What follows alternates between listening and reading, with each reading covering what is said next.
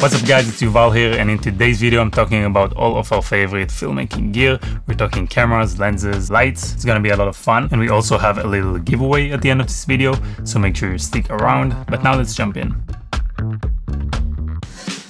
So the first camera I want to talk about is the Blackmagic Pocket 6K. Of course, everyone uses that camera nowadays and for a very good reason. It has amazing um, image quality and it's easy to use. It's probably the best value for money out there. It offers a bunch of codecs, resolutions, um, frame rates. The ProRes files are really easy to work with and are very light in the editing software, which is a very big plus because um, it really helps speed up your workflow and it just makes life easier. So it's the camera that's actually um, shooting me right now in this video. And for these kind of things, I usually like to shoot on the um, ProRes 422 codec, which in my opinion is great for keeping image quality and still giving you like a relatively small file size and an easy to work with file. And if we're shooting a commercial or something that uh, may require some more work in post and color grading, then we shoot RAW, which is amazing. But even just the smaller ProRes looks amazing. So the Blackmagic Pocket 6K, um, this is our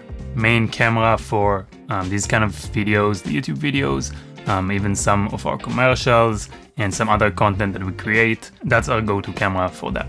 So the next camera we own is the Blackmagic Ursa Mini. It's 4K, it's a little bit of an older version. And that camera is more of a studio um, production camera for us. It's definitely bigger than the Pocket 6K. The quality, in my opinion, is a bit less than the Pocket 6K, but it just has that like big form factor. It's a real cinema camera. It has XLR inputs and um, other cinema-like features. So that camera is definitely more convenient in like bigger sets, bigger productions. Um, has all of the cinema features that we need. So that's another camera that we own. Then the camera that we use probably the most and we still don't own yet um, is the Arri Alexa, usually the Mini LF. A lot of our bigger productions and the commercials are shot on the Alexa. I don't think there's really much to say. It's like probably the best camera out there. It's the most common camera, definitely on film sets, commercials. Um, it's everywhere in the industry and obviously it's one of the best cameras out there. In terms of glass for simpler things um, like these videos, or behind the scenes or even some of our commercials, we use the Sigma Art 24 to 70 and the 18 to 35, which is currently on the pocket shooting this video. And these lenses are great, they're clean, they have a good quality, they got good sharpness, and they're very easy to use and affordable. And honestly, they're perfect for like 80% of what we do. But of course, they do have their limitations. Um, they don't have a lot of character. So if that's something you're going for, you won't get it from these lenses. And then also, it's not a cine lens, so the focus is a bit um, harder to use, but that's how it is with Stills lenses. But all in all, a great piece of glass, uh, very affordable, very useful, um, high quality. They're very popular for a good reason. And then of course on a lot of our other projects, we use um, all types of different glass, um, like the Atlas Orion anamorphic lenses, um, Zeiss super speeds, standard speeds, really a bunch of other lenses. Really depends on the project, but the Sigma ones are the ones we actually own. So moving on to lighting, we have the Arri Sky Panel, an essential in any production. It has a lot of power, great output, great quality of light. It has um, RGB control, uh, special effects, really anything you need for any situation.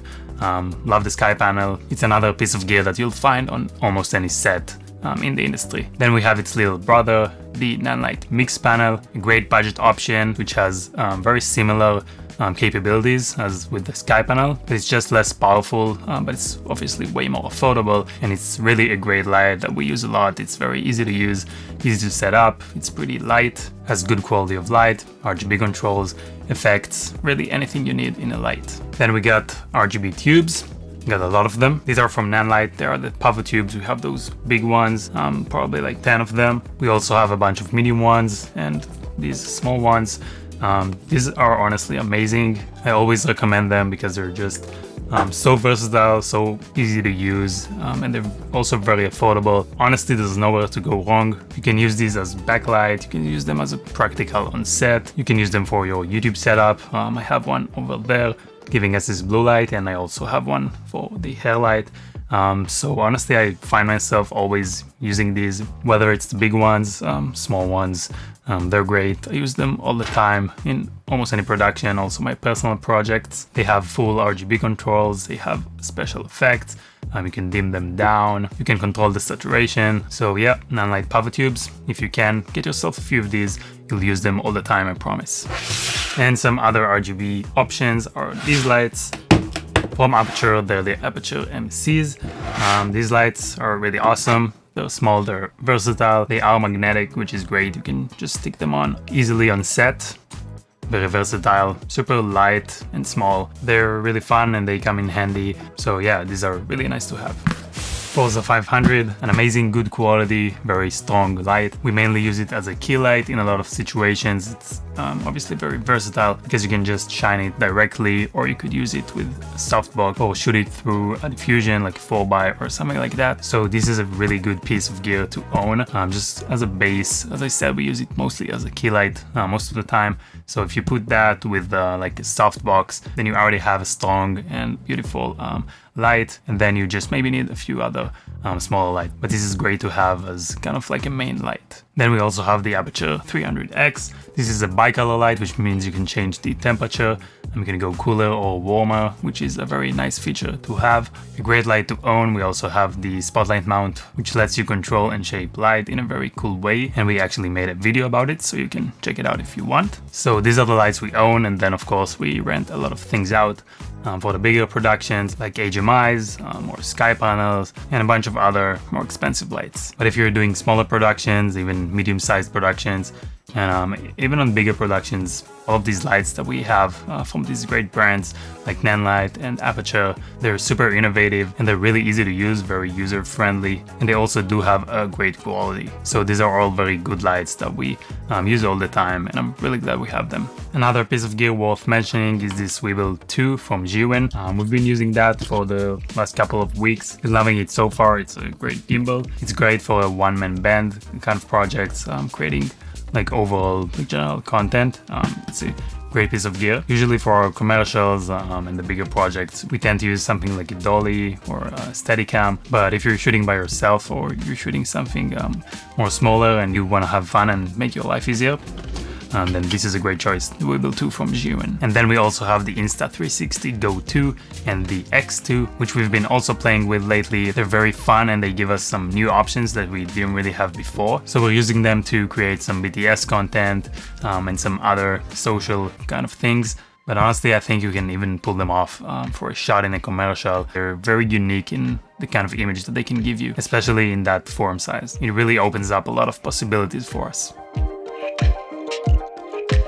So this is the filmmaking gear that we love and use all of the time. If you enjoyed this video, please give it a like and consider subscribing for more videos like this one. And also check out our exclusive filmmaking Facebook community and our Instagram page links in the description below. And for today's giveaway, one of you guys could win a free one year Artlist music subscription. All you have to do is let us know down in the comments below what video would you like for us to make next. And here is the winner from our last giveaway. But that's everything for this one and until the next time, Stay creative.